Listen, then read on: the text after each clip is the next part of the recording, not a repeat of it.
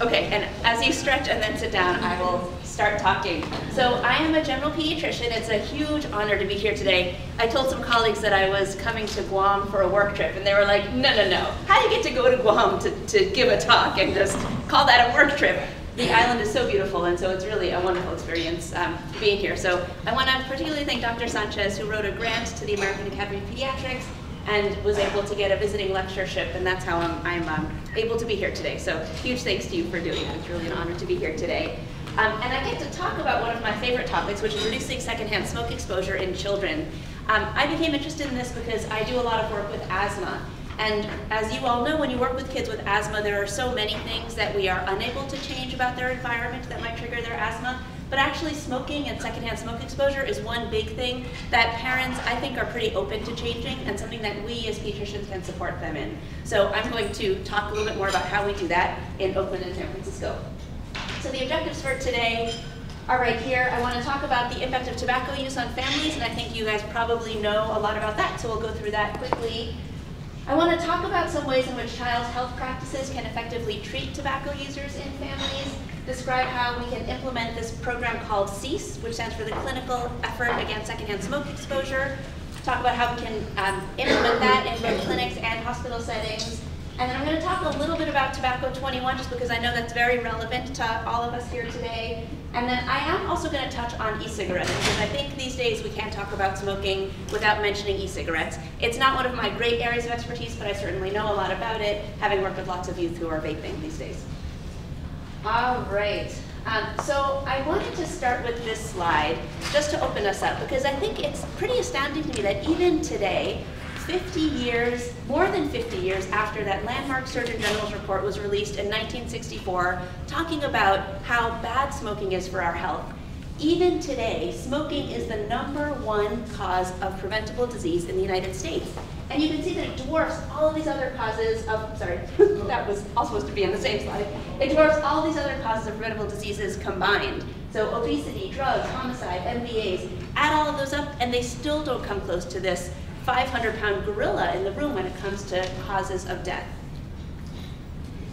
Now, secondhand smoke. So we said that 480,000 people die every single year from tobacco use. Secondhand smoke causes 40,000 deaths each year. And 400 of those deaths are infants who die from sudden infant death syndrome. So this is something that we should be talking about and that we need to be talking about. These are some of the things that make secondhand smoke so dangerous. You can read the list yourself, so I won't read it to you, but know that there are over 7,000 chemicals found in secondhand smoke, and over 70 of them are known to be carcinogenic. So when parents are smoking around their kids, we know that it's just a toxic milieu that they're creating. I want to point out also that um, parents want the best thing for their kids, right? And no one is stupid. Everybody knows that secondhand smoke is bad for their children. And so I, I, really, and in talking with lots of people about addiction and about smoking and smoking around children, I really believe that parents want the best thing for their kids. We know 70% of smokers want to quit smoking. And the problem is that nicotine is just so addictive. It's as addictive as heroin and cocaine you have both a very powerful physical addiction from nicotine as well as a very powerful behavioral addiction.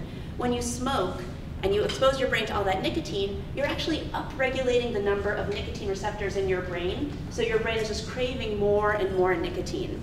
And so we need to be able to do more than just say like, oh yeah, you smoke, by the way, you should quit smoking, I'll see you next time you bring your child in for a well check. We have to be able to do more than that to help parents quit.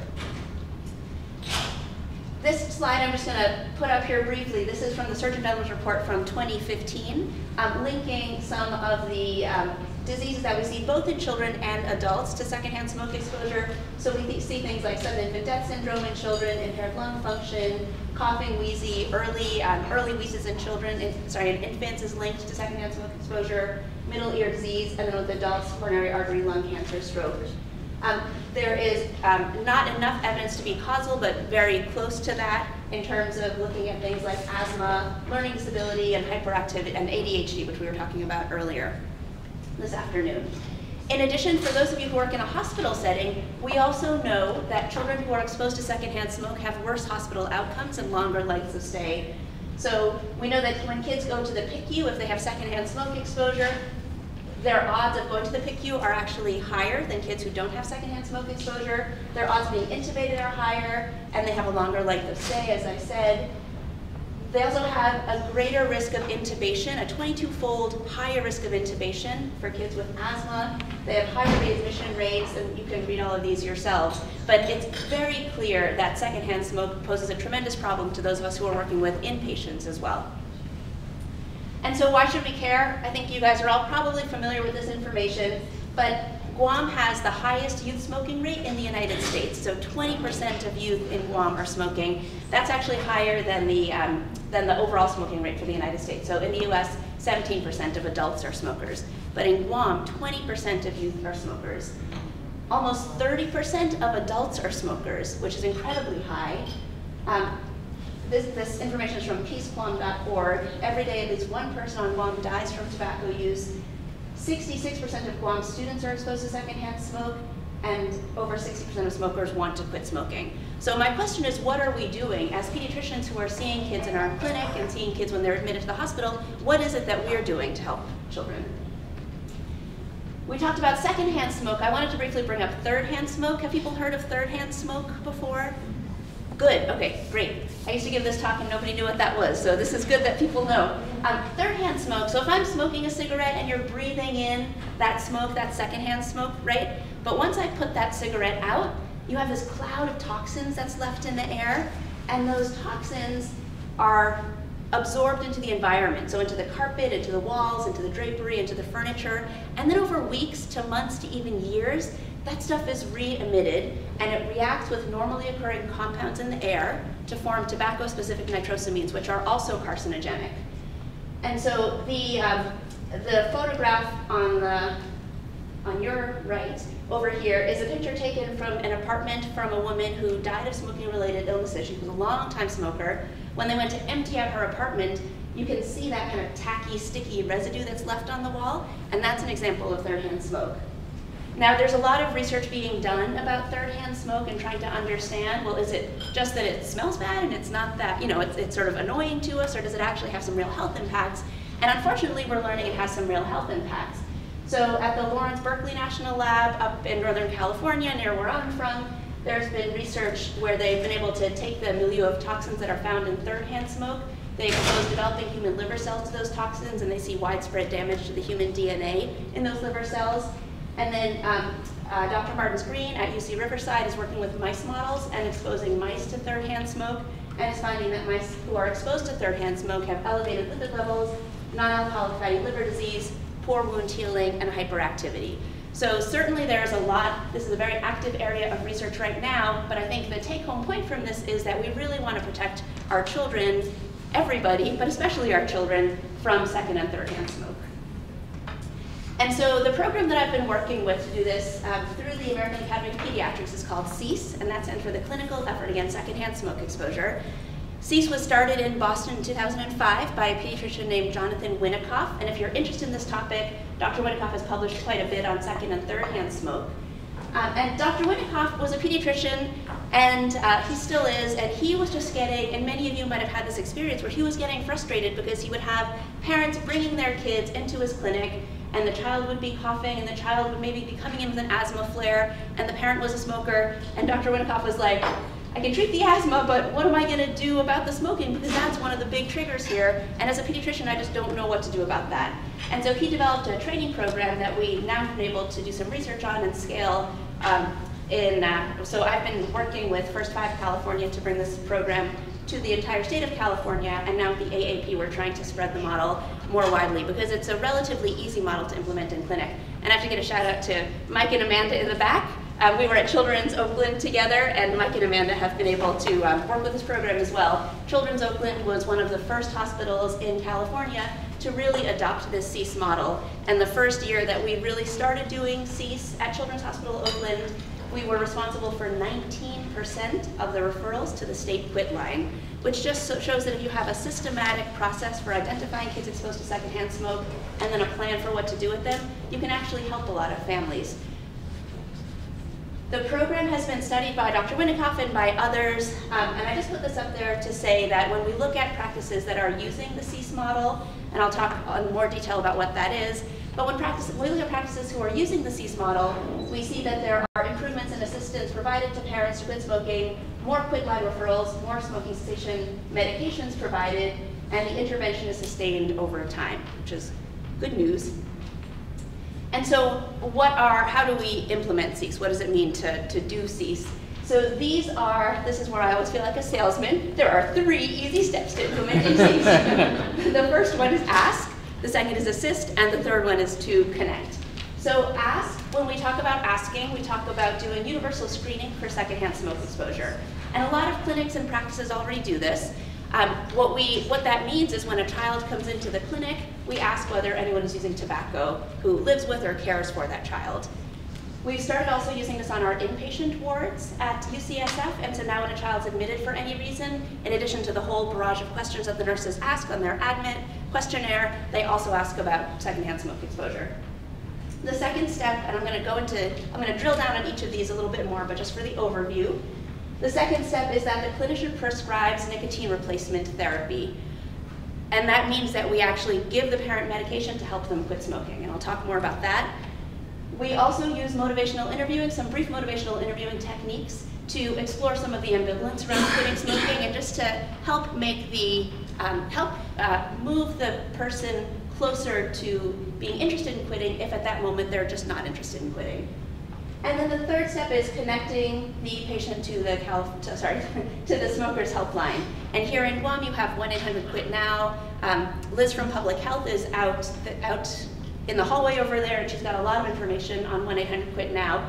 But I, like many of you, work in a very busy practice. I work in a federally qualified health center at Children's Oakland. I also work at San Francisco General Hospital's clinic. We see tons and tons of patients. I don't have time to spend 20 minutes counseling someone on quitting smoking. So I really see the connection with the Smokers Helpline as a really, really important link in order to help to carry the work on, carry on the conversation that I've started with that person. So I think that pediatricians are actually the best people to talk with adults about quitting smoking for a couple of reasons. One is that we have access to parents. So we see a newborn baby, when a child is born, we see that family up to 10 times in that child's first year of life if you're an outpatient clinician, right? If that's your primary care patient, they come in for their newborn check, maybe they come in for a weight check, their two month, their four month, their six months, blah, blah, blah, blah, on and on. And so even if that parent is like, yeah, it's Christmas coming, I'm kind of stressed about money, I, I need my cigarettes to like take the edge off, I'm not ready to talk about this right now. then I say, that's okay, is it okay if we talk about it two months from now when you come back in to see me? So we have multiple opportunities to form a relationship and to have uh, this conversation. The second reason I think that we are ideally situated to have this conversation is that parents, young healthy people tend not to go to the doctor. I won't ask you to raise your hands, but probably many of you have not been to see your own primary care provider in a, in a little while, right? But parents bring their kids in to see us every time we ask them to. And so we have this opportunity to be the doorway to the healthcare system for an adult who might just not have seen their own doctor for no good reason, but for you know a couple of years. The third reason is that those of you who are parents or who have worked in pediatrics, as all of you have, you know that parents will do just about anything for their kids. And so having a conversation with a smoker that's like, hey, in 30 years you might develop lung cancer is really different than me having a conversation with a parent whose child's an asthmatic and we're talking about increasing the child's asthma meds because their flares are becoming more and more frequent.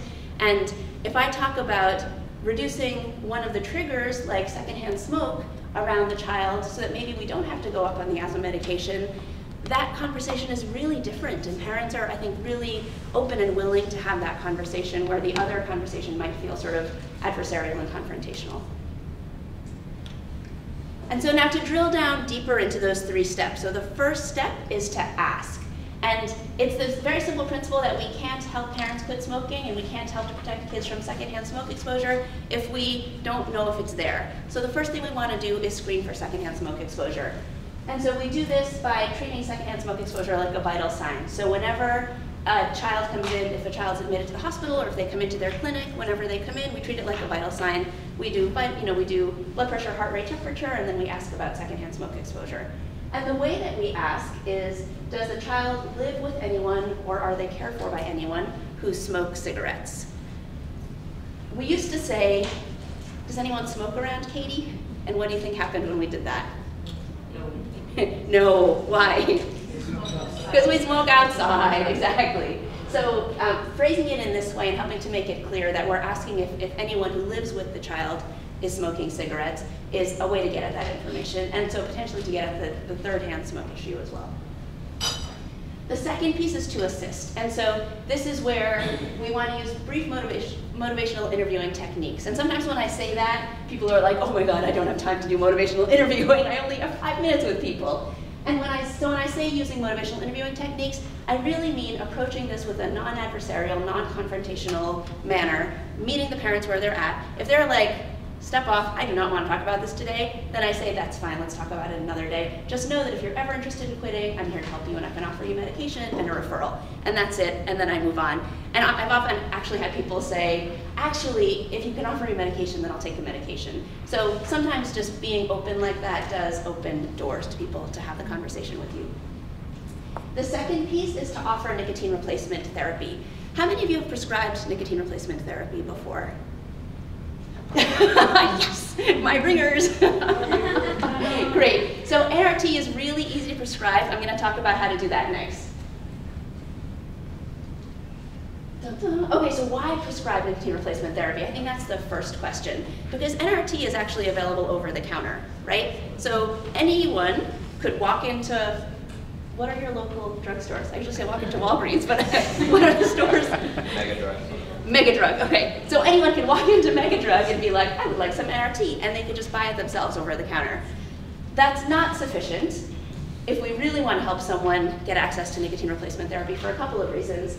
Um, so the, with a prescription, NRT is covered by insurance. And for a family that's experiencing financial difficulty, and we know that families who are living at or below the federal poverty level are much more likely to be smokers, for a family who has financial difficulty, going out to spend $100 on nicotine replacement therapy for the month just may not be an option. And so offering a prescription to them can take away that financial burden. It can also help with dosing. Sometimes the NRT might be difficult to figure out for people if they're not used to thinking about dosing. And so by us writing it out for them, it just makes it a little bit easier. And the third reason is I think there's something important about this concept of the provider mandate to the patient. So if there's a big difference between me, you know, finishing up my visit, walking out the door, being like, oh, by the way, don't forget to buy that NRT so that we, you can, you know, so you can work on that and we'll talk about your smoking next time. Versus me actually handing a prescription to someone and saying, here's a prescription for nicotine replacement therapy. I think it's important for your child's health and for your health that you do this. It's a different level of investment, I think, in the relationship, and I think that parents feel that. Um, I had a, a, patient at CHO uh, just a couple months ago where the uh, it was a mom and her son, and the mom was a single mom. She was going through a lot, and the resident had been in the room and then came back out and was presenting to me and said, um, "Oh, and mom smokes." And I said, "Oh, to talk about quitting smoking?" And he said, "No, no, I didn't really know what to say."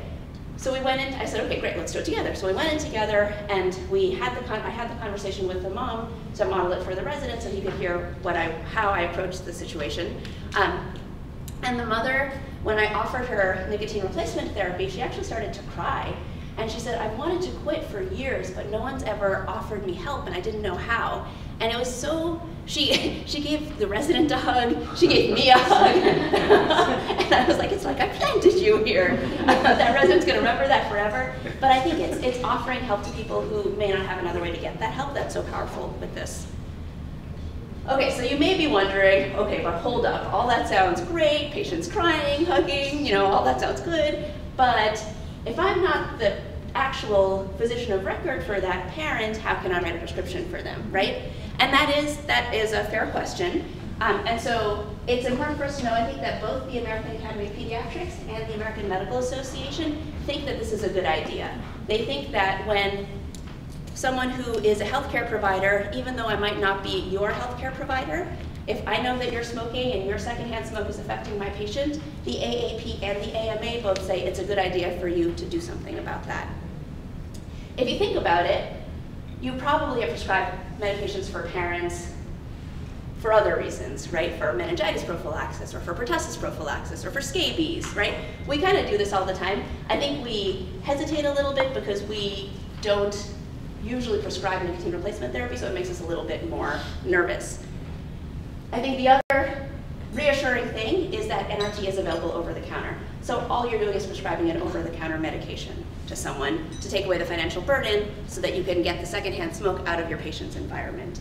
So I encourage you to consider starting to do this, and I'm going to talk about how to prescribe nicotine replacement therapy. It's really easy. The other great thing, though, I'll say is that your quit line, 1-800-QUIT-NOW, does send free NRT out to people. So if you are like, I get what she's saying, I know I should talk about this, but I'm like, I would never write a prescription for NRT for an adult that I don't know, then you could have, make sure that that person has the 1-800-QUIT-NOW phone number and they can call the quit line and they can get free NRT from the quit line. So that's another option that many states don't have, but you guys have that, so that's great.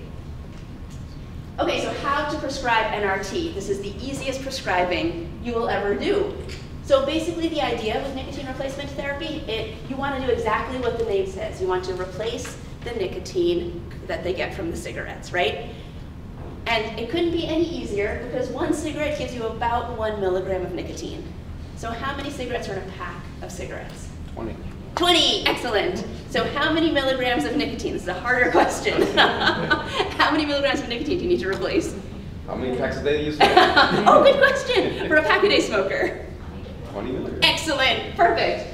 That's it. So that's it. You've just done your dosing. Um, and luckily for nicotine replacement therapy, we have a couple of different forms, which I'll talk about, but the patches come in 21, 14, and 7 milligram strengths. I don't know why they chose these multiples of 7. But basically, for a pack-a-day smoker who needs 20 milligrams of nicotine replaced in a day, you're going to start with the 21 milligram patch. It's much easier than mg per kilo dosing that we that we do in other, um, in other parts of our lives. So we have the patch, and then we also have the gum available. The idea with the patch is that it provides a relatively constant level of nicotine over 24 hours, and then the gum is there for breakthrough. So the gum or the lozenge, um, which I don't have on this slide, but the gum and the lozenge are dosed the same. They come in two milligram or four milligram strengths, and those are for breakthrough cravings. So if you think about um, a smoker, someone who's a smoker who wants to quit, and they're a pack-a-day smoker, so they put on the patch in the morning, you wear the patch for 24 hours, and then you take it off and you put a new patch on, a hairless piece of skin, you rotate sites every 24 hours. But you can imagine if someone's a pack-a-day smoker and they're like, I always smoke my cigarette at 10 o'clock because that's when the break is, and then my friends and I go out and we smoke together. And so they have their patch on, and it's like 9.45, and then it's like 9.50, and they're looking at the clock, and then even though they have the patch on, they're starting to get more cravings, right? Because it's, it's about that time and they see their friends starting to get up and move outside. So that's when something like the gum is very helpful because it gives you a little bit of a boost of nicotine when you need a little bit more than what the patch is giving you. The um, challenge that I always tell families with is um, the way that cigarettes work, they're actually beautifully engineered to be mechanisms of addiction. Does anyone know how long it takes when you're smoking a cigarette for nicotine to get to your brain? Seconds. Seconds, yeah. You should be giving this talk. it takes eight seconds for that nicotine hit to get to your brain, right? So we all have seen the images or have done it ourselves where you're smoking and then you kind of, you sort of relax, right? When you're chewing the gum, any ideas of how long it, the, the nicotine from the gum takes to get to your brain? 20, 30 minutes. It's like 15 minutes, right? So that's not helpful because you're watching your buddies go out for a smoke break and you're like, I need some nicotine.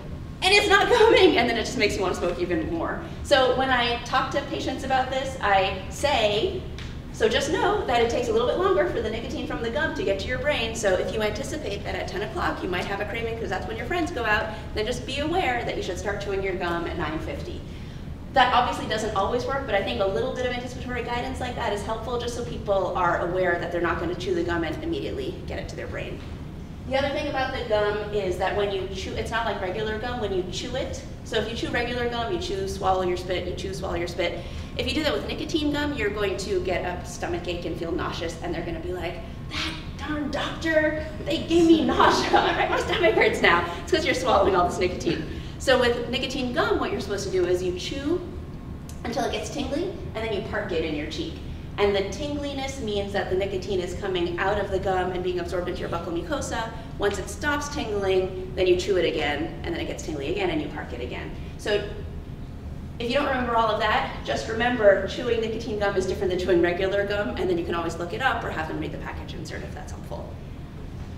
And then the third point here, so you've got your nicotine patch, you've got your nicotine gum or your lozenge. The lozenge um, is you suck on it like a regular lozenge, and it's helpful if people have poor dentition, caries, if they've got TMJ issues and they can't chew, chew, chew. So the, the lozenge is nice for that.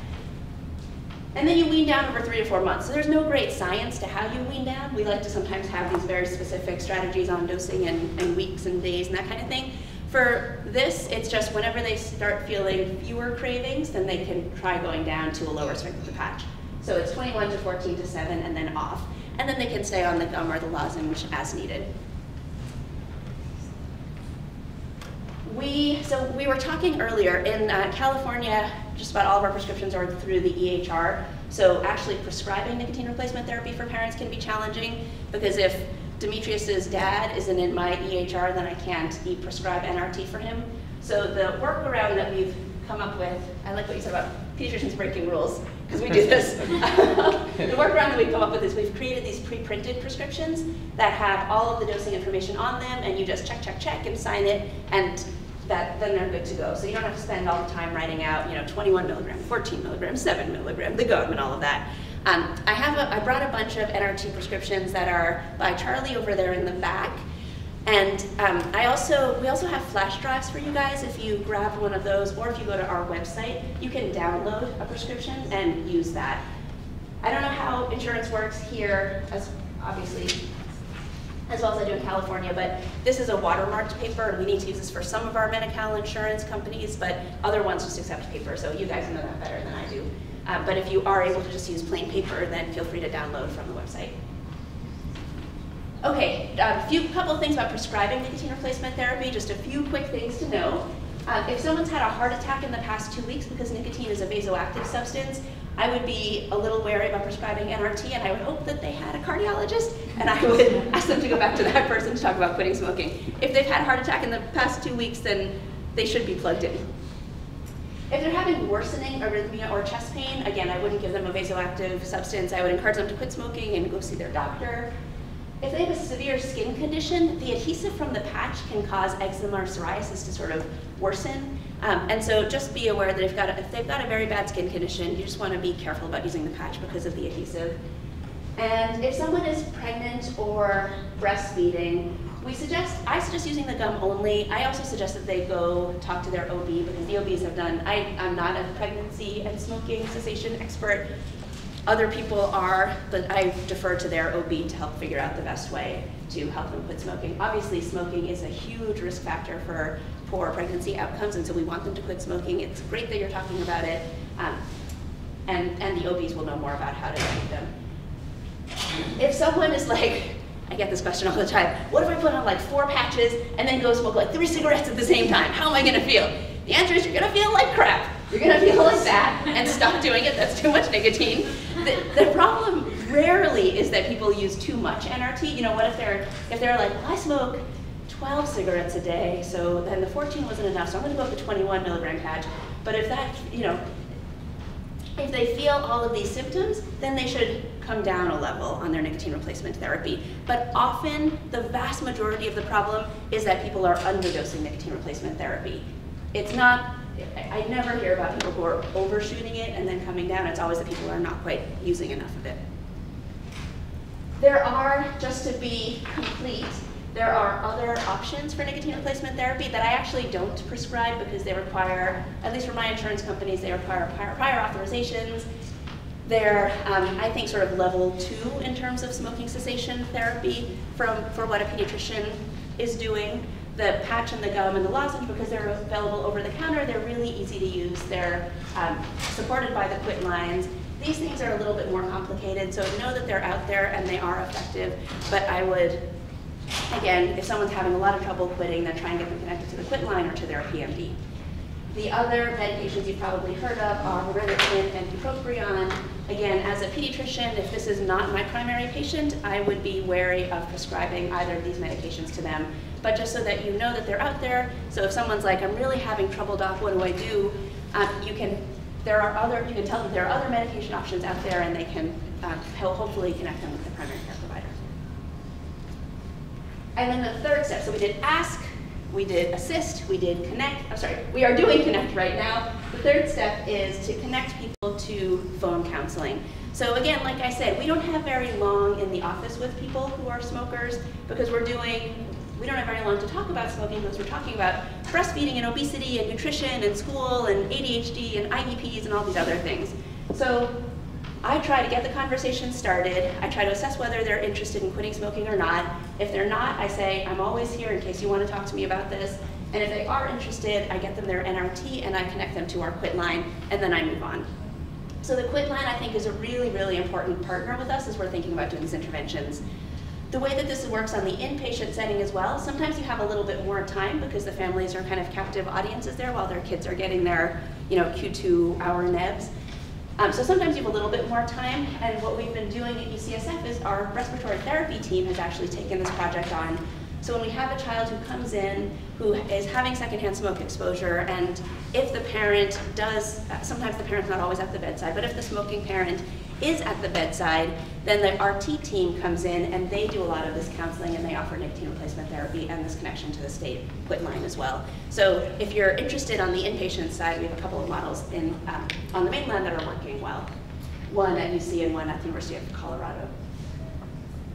Um, you guys also have a huge number of smoking groups available. So on the peaceguam.org. I was going to put up all of the groups, but there were too many, and then it would have been one of those slides that you can't read because there are too many things on it. So in lieu of that, I just put up the website. There are a ton of groups available there. For some people, in-person groups are really attractive, and for some people, they can't get away from the kids long enough to, you know, even go grocery shopping. So it's nice to know that there are different options to offer families based on what their, what their interest and availability are when I, I, was saying this yesterday, that when I started doing this, I was all about give people the NRT and don't worry about the counseling. And then I realized that I was doing a bad thing. So we know that both medication and counseling, if people use both of those, they have, they, it doubles their, uh, the likelihood that they will stay quit at six months.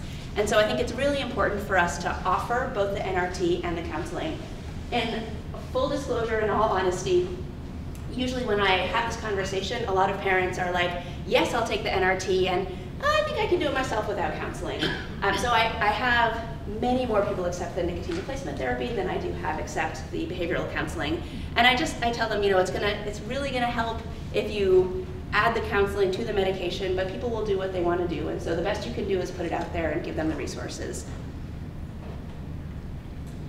Um, the thing I wanted to point out here, a couple things, one is that I think one of our great assumptions is that if someone's smoking, it's because they want to be smoking, and like, it's kind of none of my business, and it's kind of a sensitive topic, so I'm not really going to talk about it with them.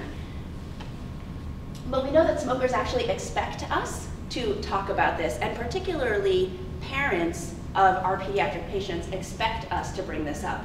And by not bringing it up, we're, we're being a little bit um, permissive and saying like, I'm not going to talk about that, and, and, we're sending the message that it's not that important, and we know that secondhand smoke exposure is extremely important. So I think even, even um, just asking about quitting smoking and interest in quitting smoking doubles quit attempts, because people know that someone that they respect who's looking out for their kid is interested in whether or not they're smoking, and that sends a message to people. If you are interested in getting trained, so this, um, with a grant from First Five California, we were able to train about 100 clinics across the state of California. Um, and we did these in, I was telling Anna yesterday, we did these in-person trainings where my partner or I would fly out to like LA or San Diego or San Bernardino and we would go to a clinic and spend an hour basically doing this talk. And then we'd leave them with one of those toolkits and some posters and say like, okay, now you can do CEASE. Um, as you can imagine, that was very expensive and time consuming. And I have two kids and I was like, I can't be the state to do this. So we actually got a grant from the AAP and developed an online training module, which we did a little quick research study on. We enrolled 15 clinics, divided them into an online training group and an in-person training group, and basically found that the online group is, is equivalent to the in-person training.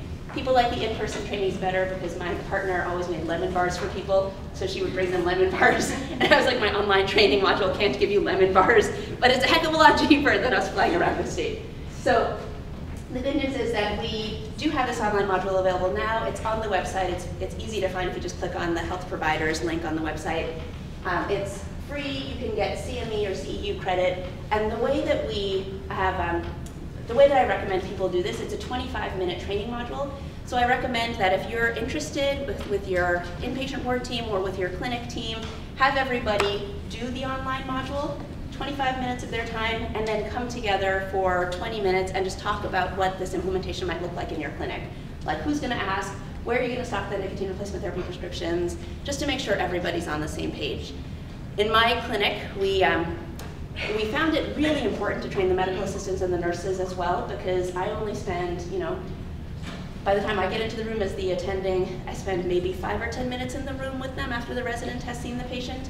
Whereas if the patient is sitting in the waiting room or waiting for vaccines, they're talking, they have a lot more exposure to the medical assistant. And so we realized that having the medical assistants and the nurses be on board with what was going on was actually more important sometimes than having the providers know what was going on. That's just a picture of the online training. It's really fun, and we were, I was very proud of it. it's interactive, you can like mouse over and click on things. It's, it's, uh, we tried to make it fun. Okay, we talked about that. Um, there are a bunch of support tools that you can download from ceasecalifornia.org if you're interested. Everything is free, and if you want to download something and change it and use it for your clinic, please feel free. All we want to do is get the information out there, and especially because the smoking rate here is so high, we just really want to make this information available to anybody. Feel free to do whatever you want to it. The only thing we ask is that if you make a change and you're like, this is awesome, let us know so we can add that to the website and make it available for other people. Okay, I'm going to switch. How much time do I have left? I'm okay? Okay. Did you have a question? Oh, sorry, okay. Um, I'm going to switch gears and talk about vaping. But I think this might be a good minute if people have questions about cease to ask any of those. Or else I can go on. Yeah, yeah. How do you approach the behavioral aspect of these actually plans? Because smoking is also about just the behavior. Huge.